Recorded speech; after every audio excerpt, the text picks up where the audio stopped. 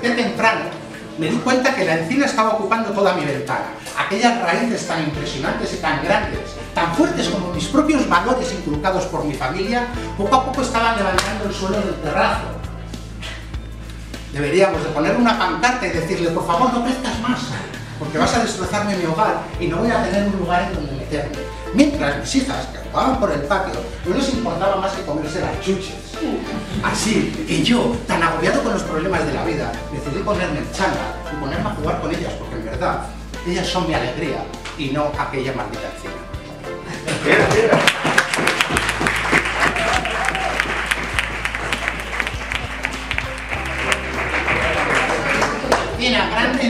Roble, aquellos árboles que estaban a mi lado, que echaban raíces que me hacían crecer. Debe de ser que hablo de mi padre, aquel roble, aquella encina, que se mantenía firme a pesar de los pesares, a pesar de los dolores, a pesar de las muertes y de las injusticias. Aquella encina que a la edad de nueve años terminó cortada.